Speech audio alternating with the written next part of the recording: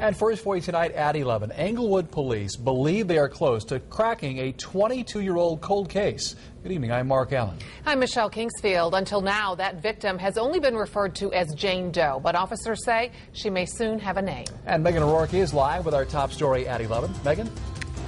This is a case that officers here in Englewood tell me has been passed on from detective to detective, and despite 22 years of hard work, they say they've never been able to identify Jane Doe, at least until now. Take a look at this composite sketch. This is the photo the police posted online along with some of the case details.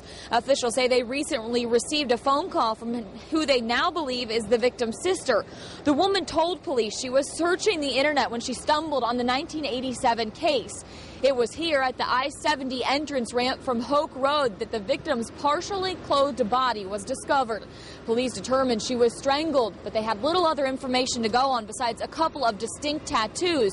So this break in the case is pretty amazing for police who have spent years trying to give Jane Doe back her identity great mystery for us.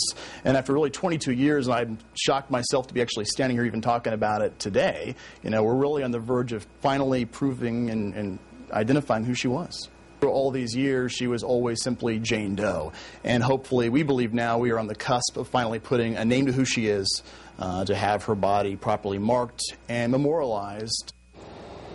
Now, officers tell me they are waiting on DNA from the family to cross test that against Jane Doe's. They say that the results could take a couple of weeks. In the meantime, they say they're not going to release her name or where they believe she is from. However, they tell me she is not from Ohio. Reporting live, Megan O'Rourke, 2 News on your side.